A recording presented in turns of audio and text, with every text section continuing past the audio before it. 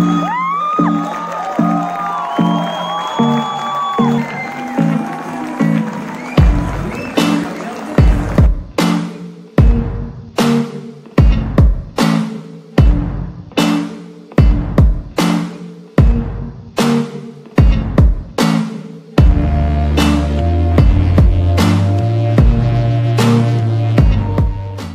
think yesterday we were 20 minutes ahead of schedule.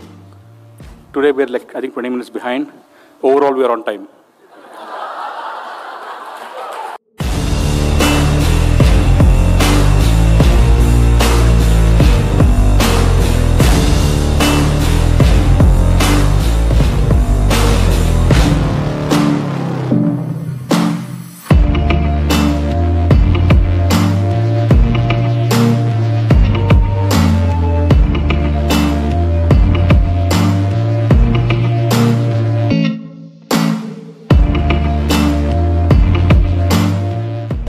Interactive and a unique GL. Pranab is really a wonderful speaker. really inspiring and very motivational. The GL was extremely informative and it was different from other GLs which we had. Was really insightful.